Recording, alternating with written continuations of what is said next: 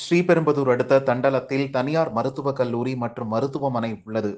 இன்று காலை எட்டு மணி அளவில் கல்லூரி வளாகத்தில் ஒரு கார் தாறுமாறாக ஓடியது. வளாகத்தில் அமைக்கப்பட்டுள்ள சாலையிலிருந்து விலகி ஓடிய அந்த கார் பிளாட்ஃபார்மில் நடந்து சென்ற கல்லூரி மாணவி மீது மோதியது. பத்து அடி தூரத்துக்கு மாணவியை இழுத்துச் சென்ற கார் அதன் பிறகும் கட்டுப்பாட்டை இழந்து ஓடியது. கடைசியில் மரத்தில் மோதி நின்றது. இந்த காட்சியை கண்ட சக மாணவர்கள் ஊழியர்கள் மாணவியை அதே மருத்துவமனையில் சேர்த்தனர். கை கால்களில் முறிவு ஏற்பட்ட நிலையில் அவருக்கு தீவிர சிகிச்சை அளிக்கப்படுகிறது.